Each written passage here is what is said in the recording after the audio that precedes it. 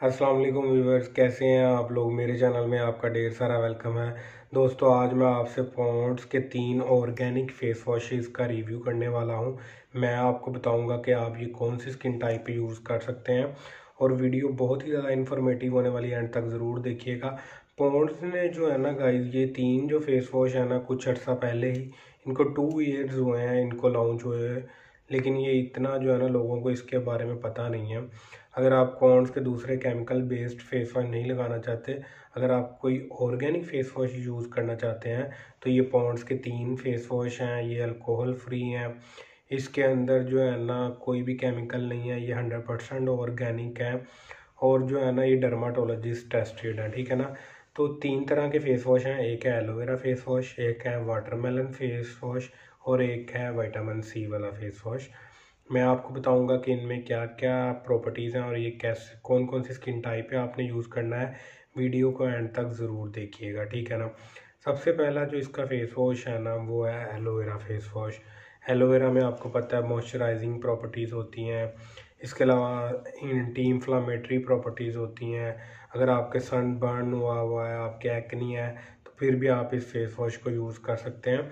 ये बहुत अच्छा फेस वॉश है। एलोवेरा वाला जो फेस वॉश है ना ये ऑल स्किन टाइप के लोग यूज़ कर सकते हैं।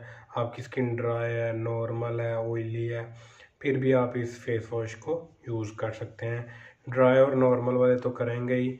ऑयली स्किन के लिए जो है ना, वो आप विटामिन सी वाला यूज़ कर लेंगे, ठीक है ना? अगर आपके फेस पर एक्नी है, फिर भी आप यूज़ कर सकते हैं। इसकी जो एम आर पी है ना मैक्सिमम रिटेल प्राइस इस फेस वॉश की, वो फोर फिफ्टी है।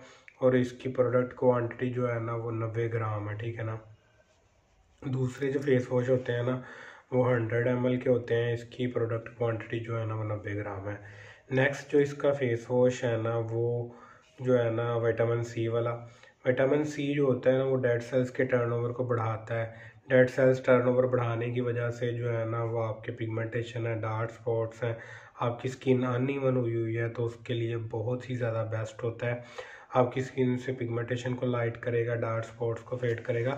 आप जो है ना फेस वॉश से इतनी एक्सेप्टेशंस ना लगाया करें कि ये हमारे पिगमेंटेशन को ख़त्म कर देगा। ये जो है ना फेस वॉशेज जो होते हैं, ये आस्ता आस्ता काम करते हैं।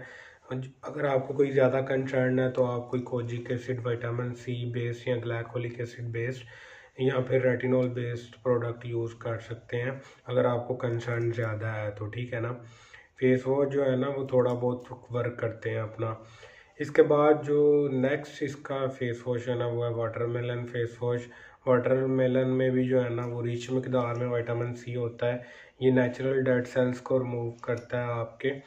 जो है ना, ये नेचुरली जो है ना, आपके डेड सेल्स को रिमूव करता है. डेड सेल्स हटे तो नीचे से न्यू आते हैं. ऊपर से आपकी पिगमेंटेशन है, वो भी रिड्यूस होगी. अगर आपके फेस पर जो है ना रिंकल्स फाइन लाइंस हैं तो उनके लिए भी बेस्ट है, अगर आपकी स्किन ड्राई है तो ये बहुत अच्छा है। ये जो फेस वॉश है ना, ये आप ऑल स्किन टाइप पर यूज़ कर सकते हैं। क्योंकि ये जो है ना वाटरमेलन टोनर का काम भी करता है।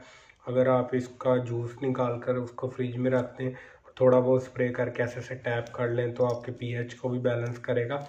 तो वाटरमेलन में ये भी प्रॉपर्टीज़ होती हैं। तो ये इसका जो फेस वॉश है ना, आप इसको ऑल स्किन टाइप यूज़ कर सकते हैं। अगर आपके फेस पर एक्नी है, फिर भी यूज़ कर सकते हैं।